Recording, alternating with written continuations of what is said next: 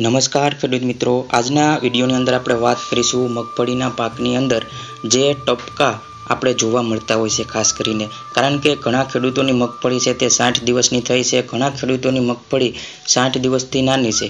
તો ખાસ કરીને અત્યારે જે ટેમ્પરેચર એટલે કે તડકો છે તે વધતો જતો હોય છે અને આપણી મગફળીની અંદર ખાસ કરીને હવે જે ફૂગનાશક છે તે ઉત્પન્ન થતું હોય છે.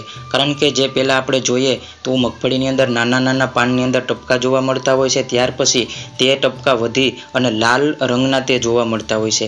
અને ત્યાર પછી જે પાનની નીચે તમે જો, તો ગેરું સ્વરૂપે તમને જોવા મળતા હોય છે. તો આપણે ઘણા ખેડૂત તેને રાતળ પણ કહેતા હોઈએ છીએ. તો ખાસ કરીને અત્યારે જે રાતળનો ડોઝ આપણે ખાસ કરીને આપવો જરૂરી હોય છે. કારણ કે મગફળી જ્યારે આપણે સાઠ દિવસની થાય અથવા તો સાઠ દિવસથી મોટી થાય, ત્યારે ખાસ કરીને આપણે જે ફૂગનાશક દવા છે તેનો ઉપયોગ જરૂરથી કરવો જોઈએ.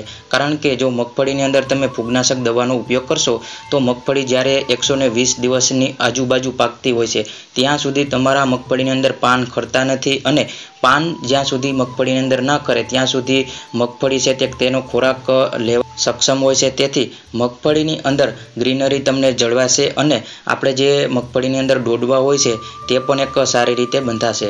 અને તે ડોડવા મગફળીની અંદર જે હોય છે, તે આપણે લાસ્ટમાં જ્યારે મગફળી ઉપાડીએ, જો તમારી મગફળીની અંદર પાન ખરી જાય, તો જે ડોડવા હોય છે, તે પણ ખરી જતા હોય છે. તેથી આપણે વીણવામાં મુશ્કેલ થતી હોય છે. પરંતુ જો તમારી મગફળીની અંદર પાન હોય છે, તે લાસ્ટ સુધી એમનેમ લીલાછમ રહે, તો મગફળીની અંદર જે દોડવા હોય છે મગફળીના, તે પણ ખરતા નથી. તો ખેડૂત મિત્રો, આજે આપણે એવી બે દવા વિશે વાત કરીશું કે તમે જો એનો છંટકાવ કરશો, તો ખાસ કરીને આપને એક મોટામાં મોટો ફાયદો જોવા મળશે.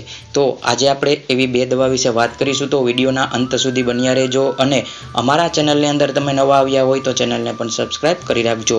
તો ખેડૂત મિત્રો, પહેલાં આપણે વાત કરીશું કે પહેલી દવા જે આવે છે, તે એજોક્સી ટ્રોબિન અઢાર પોઈન્ટ બે ટકા અને પ્લસ ડાયફેકોનાઝોલ અગિયાર પોઈન્ટ ચાર ટકા એસસી ફોર્મમાં આવે છે. તમે કોઈ પણ સારી એવી કંપની છે તેનું લઈ અને તમે સ્પ્રે કરી શકો છો. અમે જે તમને જણાવ્યા જે એઝોક્સિટ્રોબિન અને ડાયફેકોનાઝોલ તે કન્ટેન છે. તમે કોઈ પણ કંપની એક સારી એવી લઈ અને તમે તેનો સ્પ્રે કરી શકો છો. તો ખેડૂત મિત્રો, જે એઝોક્સિટ્રોબિન અને ડાયફેકોનાઝોલ છે તે એસસી ફોર્મમાં આવવાથી મગફળીની અંદર ગેરું, રાતળ કે જે અમે કહ્યું તેવી જ રીતના લાલ કલરના જે ટપકા હોય છે તે ખાસ કરીને તેના ઉપર કંટ્રોલ કરશે. તો આપણે જે આ બે કન્ટેન કહીએ તે તમારા સ્પ્રેની અંદર તમે લઈ અને છંટકાવ કરી શકો છો. જો તેનો ડ્રોઝ આપવો હોય તો આપણે વીસ એમએલ પ્રતિ પંપ ઘાટો છંટકાવ કરવાનો છે ખાસ કરીને. તો જ તમારા મગફળીની અંદર એક સારામાં સારું કંટ્રોલ જોવા મળશે. અને ત્યાર પછી જો તમારે આ કન્ટેન ના આપવું હોય, તો તેનાથી કન્ટેન આપણે વિશેષ, એટલે કે સારામાં સારું કન્ટેન વિશે વાત કરીએ.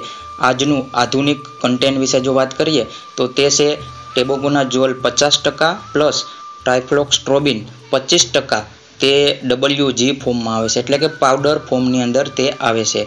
તો ખાસ કરીને તમારે એજોક્સિટ્રોબિન અને ડાયફેકોનાઝોલ ન આપવું હોય તો તમે જે આ કન્ટેન્ટ છે તેનો તમે ઉપયોગ કરી શકો છો. જો તમે આનો ઉપયોગ તમે કરવા માગતા હોય તો આનો ડ્રોજ છે તે પ્રતિ પંપ આપણે બારથી પંદર ગ્રામ આપણે વાપરી શકીએ.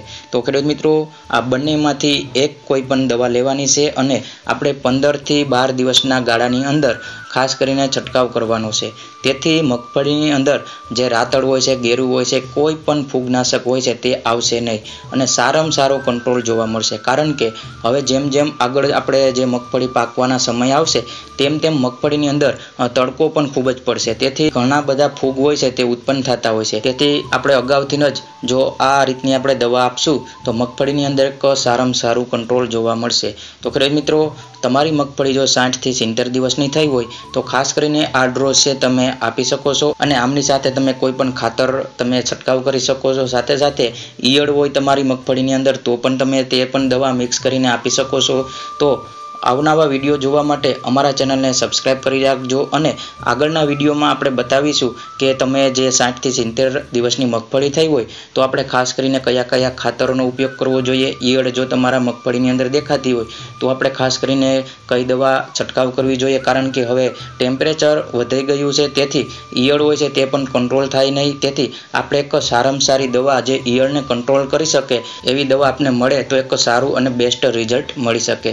તો અમારા અમારા ચેનલને સબસ્ક્રાઇબ કરી રાખજો, જેથી કરીને આવનારા વિડીયોની નોટિફિકેશન તમને મળતી રહે અને આવનારા વીડિયો તમને ઝડપથી મળતા રહે. તો ખાસ કરીને સબસ્ક્રાઇબ કરી રાખજો, સાથે સાથે બે લાઇકનને પણ દબાવી રાખજો. અને તમારા વોટ્સઅપ ગ્રુપમાં પણ શેર કરજો, જેથી કરીને અન્ય ખેડૂતોને પણ આપણે જાણકારી આપી શકીએ. તો વિડીયોમાં આટલું જ. ધન્યવાદ. જય હિન્દ. વંદે માતરમ.